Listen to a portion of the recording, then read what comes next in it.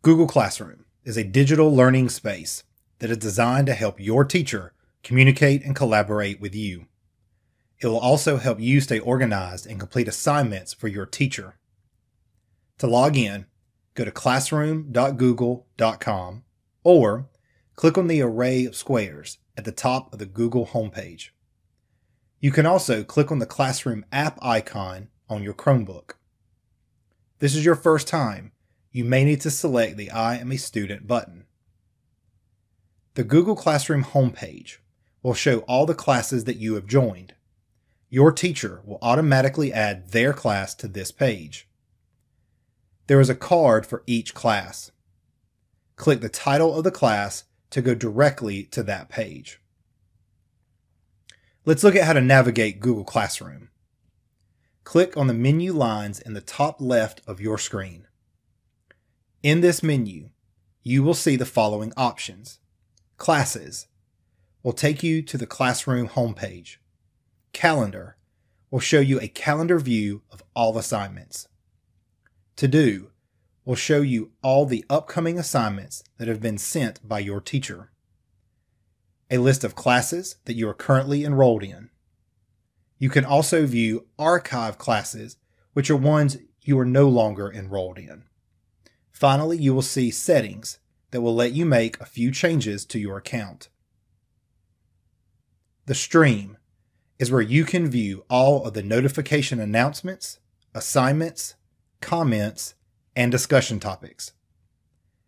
If enabled by your teacher, you can also add posts and leave comments. Use the share something with your class box to post something to the entire classroom. You can also use the add button to attach files, links, and videos.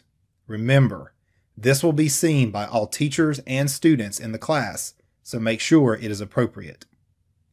Click Post to add this to the class stream. You can also post a class comment underneath a teacher post. This can be used to ask questions or add to a discussion. Remember, your teacher can always see what you share. Each assignment post made by your teacher is clickable and will take you directly to the assignment. The Classwork tab is where you will spend most of your time in Google Classroom. All materials, questions, and assignments will appear on this page. The View Your Work link is a quick and easy way to see all assignments that your teacher has sent to you. Your teacher may decide to use topics, which will show up as large, bold text on the page. Clicking on a box will expand to show additional information. Clicking on View Assignment will open the assignment page. The assignment page will show you the point value and due date. Class comments will be seen by all students in the class, but the private comment section will allow you to send a question directly to your teacher. You may see documents or templates that your teacher has included with the assignment. You can click these to open them. If your teacher has attached a template for you to open and complete, you will see it in the top right corner in the Your Work box.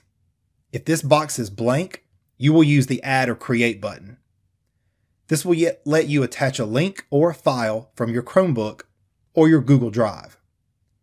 This button will also let you create a new file directly in Classroom, such as a doc, slide, sheet, or drawing. Once the file has been created, you can click it to open in a new tab and begin editing.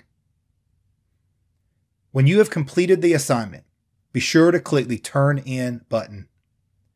This will notify your teacher that you are finished with the assignment your teacher will provide instructions if they want you to use the Mark as Done button.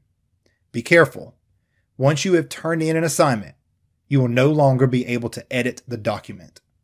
Once turned in, your teacher will grade it and return it with feedback.